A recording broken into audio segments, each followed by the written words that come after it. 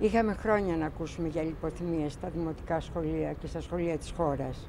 Δυστυχώς τον τελευταίο καιρό αυτά πληθαίνουν. Από την πείνα λιποθυμίες.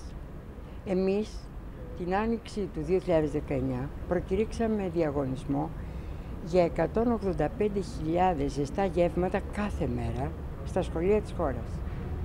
Σήμερα, Φεβρουάριο του 2020, το 1 τρίτο αυτών των γευμάτων δεν έχει δοθεί ακόμα, δηλαδή 54.000 γεύματα. Από αυτά, τα 19.000 είναι στην Αττική και στην Αθήνα.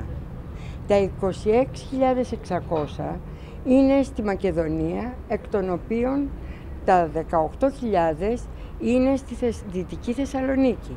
6.000 είναι στην Πελοπόννησο και 1.500 δυστυχώς στη Λέσβο και αλλού, στην Κεφαλονιά, στα Τρίκαλα κτλ. Η κυβέρνηση σπέβδει όταν πρόκειται να εξυπηρετήσει συμφέροντα αυτών που την κρατούν στην εξουσία. Όμως ολιγορεί όταν πρόκειται για παιδιά και μάλιστα παιδιά του Δημοτικού.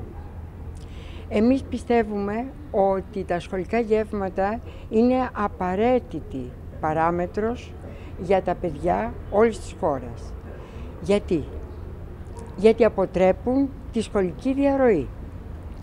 Γιατί ενισχύουν τη σχολική συμμετοχή αλλά και την απόδοση, όπως έδειξαν έρευνες του Γεωπονικού Πανεπιστημίου.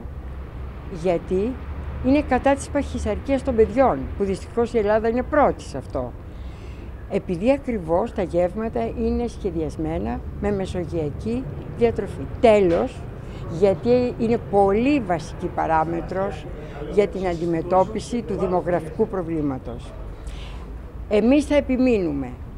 Θα επιμείνουμε και θα απαιτήσουμε τα σχολικά γεύματα να επεκταθούν σε όλα τα σχολεία της χώρας όπως ήταν το σχέδιο του ΣΥΡΙΖΑ αντί να προσπαθούν με κάθε τρόπο να τα ψαλιδίσουν και σε τελευταία ανάλυση να τα καταργήσουν. Δεν πρόκειται αυτό ο ΣΥΡΙΖΑ να το αφήσει να περάσει.